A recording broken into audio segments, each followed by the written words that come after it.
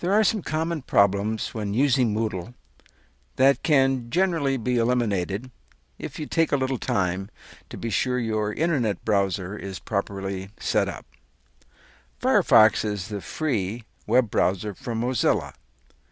Here you can see it and the web address to get to it.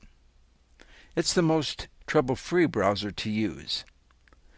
When you go to the website, you can download the browser and install it on either a Mac or a Windows machine. Internet Explorer does work with Moodle, but you are likely to encounter problems when using it, like not being able to open a link, view a video, or post a message.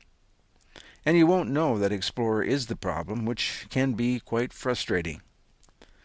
If you are using Explorer and something goes wrong, try a different browser as the first attempt to solve it.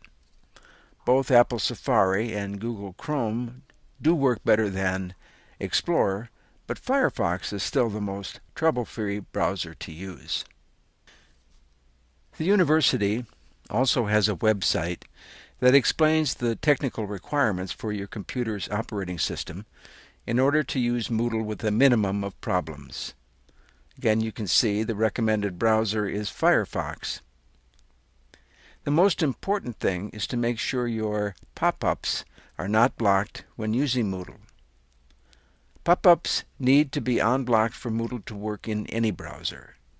Here in Firefox, to make sure that your pop-ups are not blocked, you go to the Firefox uh, word in the menu, click on Preferences, and then you see that in this case, pop-up Windows is blocked.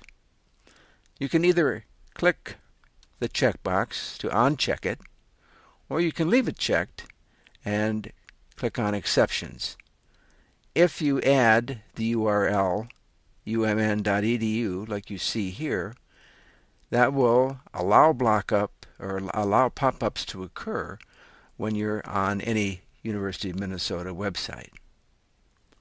This prevents Uh, your pop-up blocker from not working and allowing pop-ups with any website that you visit. When you're done with that, you can just close it. Some of the content you may view in Moodle requires that you have a plugin installed.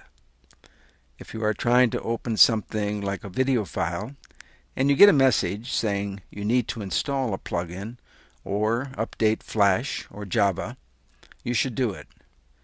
You won't be able to view the content if you don't have the required plugin installed.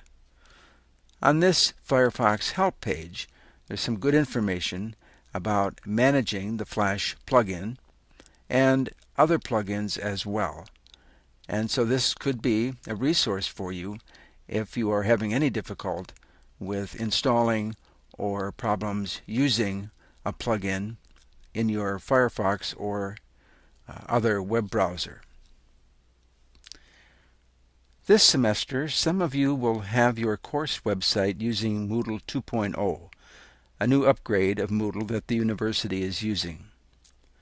During fall semester, all Moodle courses were using Moodle 1.9, and some continue to use this version during spring semester. You can log into your Moodle site in two different ways. First, you can go to myu.umn.edu and log in, like I'll do here. and then click on uh, my courses tab. When I do that, all the courses that I am registered in show up.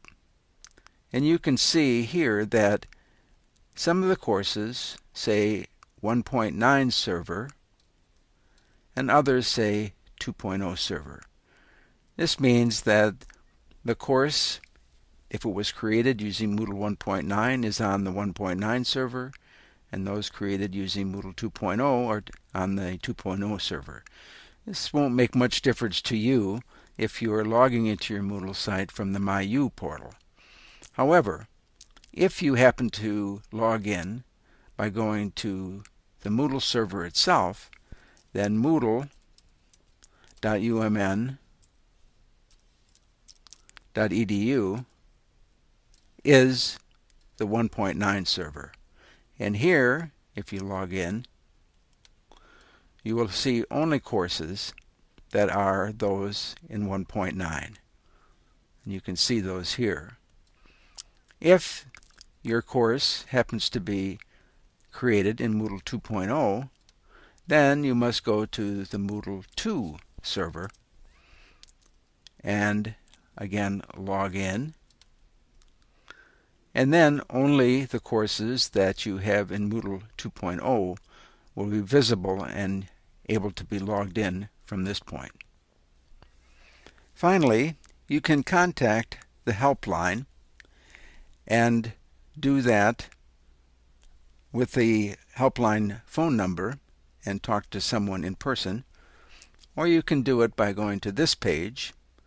And at this uh, page, you can view tutorials about using Moodle.